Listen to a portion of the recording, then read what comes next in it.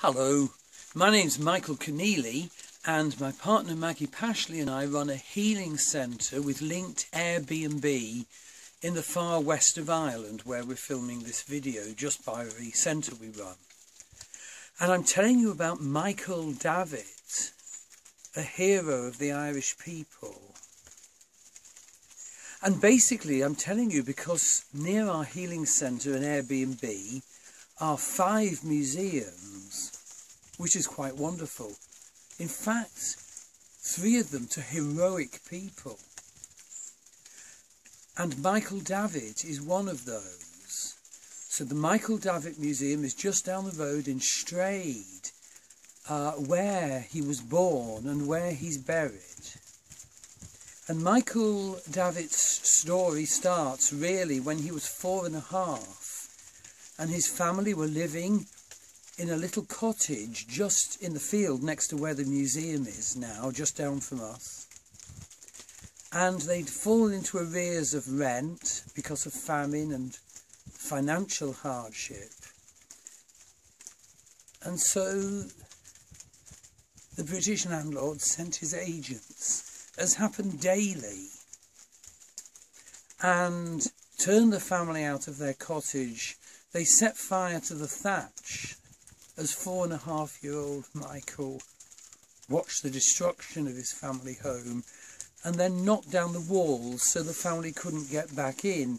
This was no exception. There was one there was I've seen the register of evictions of one landlord in Roscommon and he it made homeless a family a day, 300 families a year on his register turned onto the streets and so the family, Michael's family, had to decide what to do. And so they walked to Swinford Poorhouse, which is near, near here. But there they found that boys over three couldn't be with women in the poorhouse. And so his mother was told that her son couldn't be with her. So such was her spirit she said, the family will live on the roadside rather than be separated.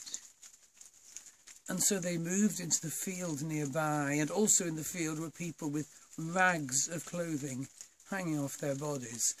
This was the effect of landlordism in Ireland in the 19th century.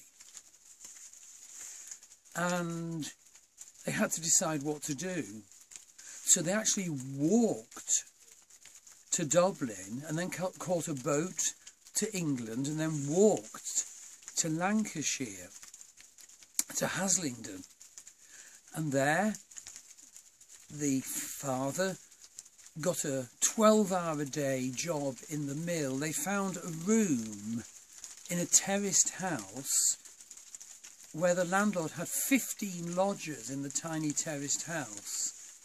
And as soon as Michael was old enough, he was put to work in the mill. He was nine, I think, and he was working a 12 hour day. But when he was age 12, tragedy struck. His right arm got caught in the mill machinery and had to be amputated. The family were desperate, they needed the money. But disaster turned out to be spiritual opportunity, as is so well shown in the very moving mu museum exhibits. The Michael Davitt Museum is so worth going to. Another mill owner who was a bit of a philanthropist on the quiet saw that Michael was a very bright boy. And so this mill owner paid for four years of education for Michael. And that changed his life. And it changed things for the Irish people and for the Boers and the Russian Jews, as you'll discover. How amazing. So for four years, Michael learned to read and write and then got a job in the post office in Haslingden as a clerk. But he was a bitter and angry young man. He hated the British for what they were doing and so he started gun running And he was actually arrested in London on Paddington Station while he was waiting for a consignment of ammunition. And he was sentenced to 15 years hard labour in solitary confinement. So the first five years were actually spent speaking to no one in a cell picking oakum out of second-hand ropes. And then the second five years was spent in hard labour but not in solitary confinement. And the third five years he actually got parole for. That was the practice. And so he was released on condition he did nothing of a treasonous nature against the British Crown, the rulers of Ireland. But of course, he did do treason. And he campaigned for this land is ours, for land rights for the Irish. And he was very successful. He was elected to be an MP, a Member of Parliament. So he went to the Houses of Parliament in Westminster as an MP for an Irish uh, place. He served several terms as an MP, different places.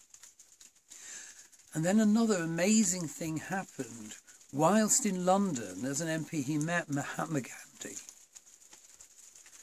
Now, Mahatma Gandhi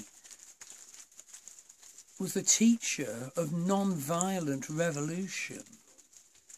He, uh, through non-violence, got the British expelled from India. So the Indians owe their country, really, to the non-violence, the Ahimsa teaching of Mahatma Gandhi.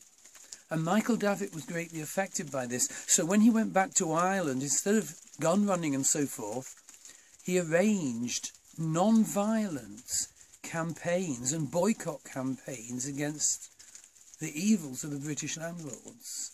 And they were successful. He died in 1906 his story is so worth seeing.